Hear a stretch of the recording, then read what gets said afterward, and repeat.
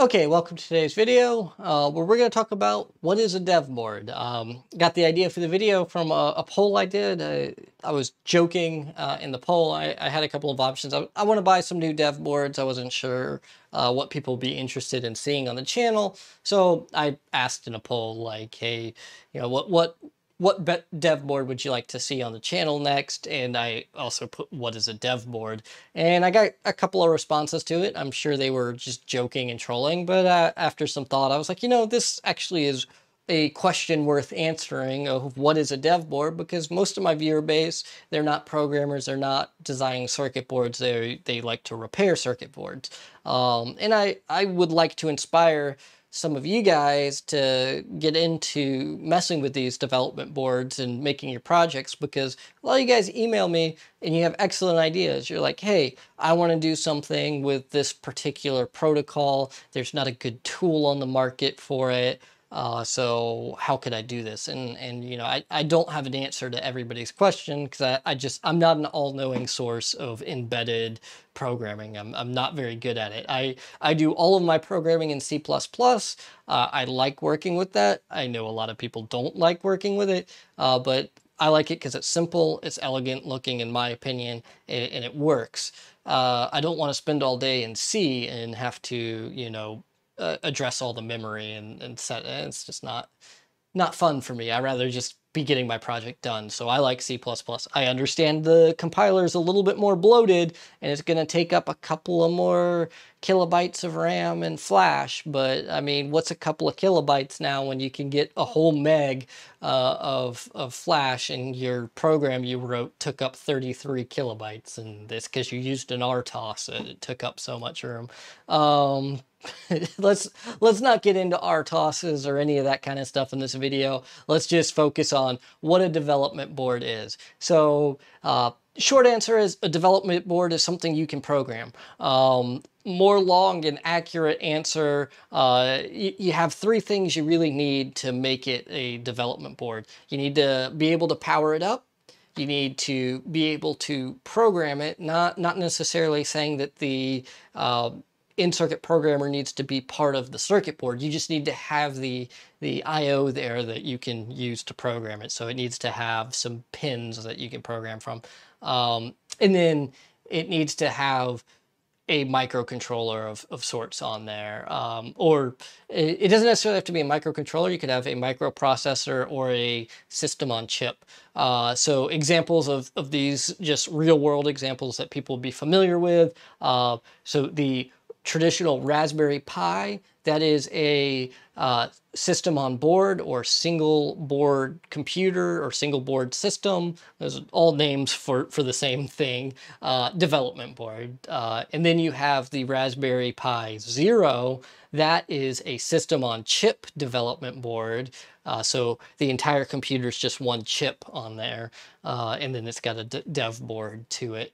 And then you have your Raspberry uh, Pico, which is a microcontroller dev board. So those are kind of your full spectrum there. I, I, I left out microprocessor because those really aren't common anymore. So like your Intel 8085 would be an example of a, a microprocessor instead of a microcontroller. Uh, I'm not going to get into the difference in the, the two, but just giving you an example of, of what, what a um, there, there are dev boards of microprocessors out there. I'm just not familiar with any of them, so I can't give you an example of a microprocessor dev board that's specific to that that genre. So that's what a dev board is. That's that's, that's kind of like the quick down and dirty of like what a dev board is. Uh, there's a lot of different architectures to the dev boards. So you you know you you have your Arduinos, which are mostly um, Atmega chips on there. And then you have your STM32s, which is a really broad spectrum of ST products because they've kind of kept the same footprint with a lot of their stuff. So they have a lot of different chips that go on the, the same kind of dev boards. You have the Blue Pill, which is like kind of commonly um, pirated. Uh, I, would say uh, it's it's a copy. It, will generally have clone chips on them. I use a lot of those because uh, they're cheap. And then you have they, they have a bunch of other series from STM. Um, so yeah, you have your Arduinos, your STMs, and then every manufacturer has their own um, dev boards. I could go all night listing them, but those are really your, your common ones are like your Teensy, your STM, your ESP32, all of those are, are your really common ones. Uh, and, and all of them will have different ones. But I think for the beginner, for, for somebody just getting started out, they've never done any microcontroller at all, that you have really one of two options. Either um, sink or swim dive in and buy an STM32 or dip your toes in and get started with an Arduino. And I think getting started with an Arduino is the best option. Um, the STM32s though, you can absolutely start with them. Um, it's just a little bit more, um, little faster learning curve to it. Uh, it. It all has the same learning curve uh, well, it all is the same stuff you have to learn, but um, it's a little bit steeper uh, with the STM32s. You're, you're going to have to grasp a couple of concepts a little bit faster, uh, but it's still all there because you can still use the Arduino IDE to program a STM32. So you don't have to go like bare metal jumping into this and, and really struggle. Uh, you, you can still start out pretty soft with an STM32. The, the ESP32s, uh, same boat. I don't have any experience with them though, so I can't speak to them. So I, that's why I'd say STM32 or Arduino, uh, but that's just because that's where my experience lies with them. Uh, if I had started somewhere else, if I'd started in the Mbed Studio, I may be suggesting that, but I didn't start there. So um, that's my suggestion. But the, a couple of reasons why I really think the Arduino uh, is a great way to get started is first of all Arduinos come with shields which we'll get into that here in a minute of what a shield or a module is. Uh, but they, they come with uh, a lot of them come in kits that come with all these things and they have projects you can do so you just get started right away doing some of these projects and learning how to do some of the coding right there with the projects. You, you know you're copying pasting if you're not trying to learn it or you can go through the actual PDF and pro, type out the code yourself so that way you, you get some muscle memory and learned some of the things along. Uh, but here, let me reach over here. But yeah, so here are like some Arduino Unos, and this is another reason why I think Arduino Unos are great for beginners is so uh, this one, as you can see, the socket is empty on it. Uh, this is because I sent 12 volts to one of the data lines on accident. I was wiring it up wrong, I, I just fried it. Uh, and these are great because it's socketed, so I can replace it. I'll probably do a video in the future on replacing it. So yeah, if, if you kill a couple of microcontrollers, which if you who are working on automotive stuff with 12 volts around, it's quite likely that you'll do that. Or if you, you know, set it down on something, uh, pretty likely that you're going to damage it. So yeah, your Arduino Uno uh, is a excellent place to start out because it's a socketed chip. It comes with shields, which we'll get into here in a moment, and all of your in-circuit programming is done on the board, so you don't need anything special. You plug in the USB port and you're already, you know, good to go in, um, in the uh, Arduino IDE or the, the studio for it. Um, so, same with your Mbed, most of your Mbed chips uh, that you don't need a, uh, well, they're not chips. Uh, Mbed doesn't make a chip. It's, you know, they're development boards for the studio. Um, generally just USB plug it in and it's it's ready to go. Um, no no need for your in-circuit programmer, which we'll take a look at in-circuit programmers here in a second too, uh, so you can see what they are. Um, so yeah, let's move the camera up and take a look at some of this stuff and go from there. Okay, so let's uh, take a look at some of this nomenclature real quick. Uh, so first one I'm going to show you is a module. So this one is a CAN bus module. It has a couple of chips on here and it is not set up to uh, sit on top of the art development board. Um, and so that's how you can tell it's a module. And this module is not set up to be in a breadboard because it's got all the pins going up like that. Now, this module would be set up to go in a breadboard. It would just sit upright like that, but it goes in a breadboard. Uh, now, you can always change one of these that are not made for a breadboard to work in a breadboard. All what you do take this header off, flip it over, solder it back down. So it, it's not like you're forced to not work with it, just the way it came from the factory, uh, not made for a breadboard. So then your next one you have is your shield and we we have two different style shields here for two different development boards. They're both the same thing. These are these are both cnc shields for making like a cnc machine or a 3d printer or something of that nature. Um, so this one is for an arduino uno so it sits on top of it just like this.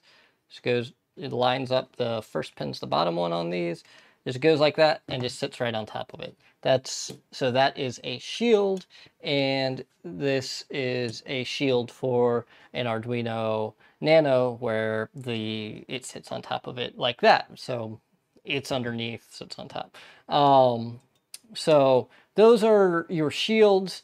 And then your next thing that you need to be familiar with if you're getting out of the Arduino world are your um, would be your in-circuit programmers. So this is a J-Link. It is a in-circuit programmer, the EDU version, uh, which is for people that are just learning or in school, um, is only like $80. Um, the, the full-on like commercial J-Link is like 300 to $800 depending on what licensing uh, you're getting with it. So um, definitely, uh, if you're if you're in an educational setting or you're not using it for commercial use, uh, this is an excellent tool. Uh, and then another one is over here. Um, this this one is a ST-Link uh, version two. It's probably not genuine. Um, came came with some of these S, uh, STM32s that I've purchased in the past. Um, so yeah, the as I was talking about before, you have um, modules that are made for breadboards that just sit in here, like this one. This one is a just a CAN transceiver. The STM32s, they support CAN at the silicon level. Um, not all of them, but most of them do. Um, so yeah, I just need a transceiver with this. I don't need the um, uh, CAN chip, because that's the CAN chip, that's transceiver. This is actually the same transceiver. These both have the same transceiver on it. And then this is just a uh, stepper motor uh, chip right here. It's a it's a H-bridge stepper driver. Um, so yeah, that's kind of your, your general layout there um, of what you need. So some dev boards like this, you program them with a in-circuit programmer while an Arduino, it just programs through serial, so you can just uh, plug it into the computer. Now, these STM32s, they can also be, be uh, programmed with serial. All what you do is put it in boot bootloader 1, power it up, and then wire in your uh, serial connection to it. So, um, so, so that's that's how you do that. Um, but you can leave it in boot boot mode zero and uh, program it with uh, any of these um, in-circuit programmers. So, so the the J-Link or the the uh, ST-Link can can do that. Um, I'm doing it via uh, the serial wire debug, so the S SWD debug. The, these do also have JTAG uh, for the STM32s. Uh, well, some of the STM32s, however, I don't believe the pins are all available for, for doing that with these. Uh, a lot of these microcontrollers have more pins than your uh, output. So like, uh, let me show it here. Like the Mbed um, 005.1, um, it had this this NXP microcontroller on here has a lot more pins than you actually have the GPIO of. Um, you know, they just didn't they, they didn't make them all available. They also used a lot of them on here because uh, this this is a really old um, dev board. It's from well, when I say very old, it's from like 2009. Um, so yeah, not not the newest design uh, dev board, and it's back from when Mbed was still proprietary. Mbed has now gone open source with most of their stuff. So here we go. Uh, so most of their stuff doesn't come with this anymore, but this is a Mbed interface chip on here that's proprietary. Um, they, whatever the chip was, they just grind, it off and then put their own uh, mark on there. I'm sure it's out there on the internet of what it was, uh, but they don't use it any, anymore in any, any of their new products, uh, I don't believe. Um, but yeah, so so yeah, th there's a lot of the uh, pins are already used on here, and some of them are available. They just go to like the LEDs. So there's four LEDs on here, and they all have their own pin to the microcontroller and stuff like that. So uh, yeah, not all of them have have everything available to it. Um, and if you just want to see what's going on with this project, uh, working on, uh, I'm working on making my own uh, min menu interface right now. So the first step was to get the rotary encoder and the LCD working. I have got them working. So there you go. Delta is, is it rotating through it. And then count is just me clicking the button here. Um, so yeah, it, making progress on a project here in the Mbed Studio.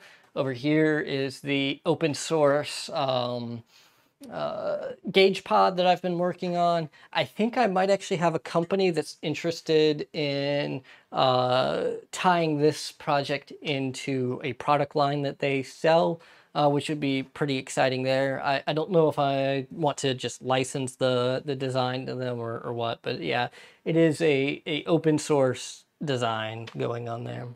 So yeah, that pretty much uh, goes over all the nomenclature here. Okay guys, well hopefully you enjoyed this video. Hopefully I didn't ramble on too much about what a microcontroller is. I know it's kind of a boring topic, but it's definitely a question worth answering because there are people out there that don't know what a dev board is and, and don't know where to get started. And I want you guys to get started, start making your projects. I know you guys have excellent ideas. Um, just, you know, stick to it, I, I want to see your projects. Once you start getting them done, you know, put them in our Facebook group, the Automotive Circuit Board Repair Technicians Facebook group. So yeah, that's a mouthful to say, but link will be down in the description for the Facebook group. Um, please answer the questions or I'm just going to deny, uh, or the other moderators are just going to deny your response to it. If you have to use Google to get the answer to the questions, that's okay but yeah, answer the questions to, to join the group or your thing will get denied. Because I've had a lot of spam bots come in there and, you know, try to sell people crap.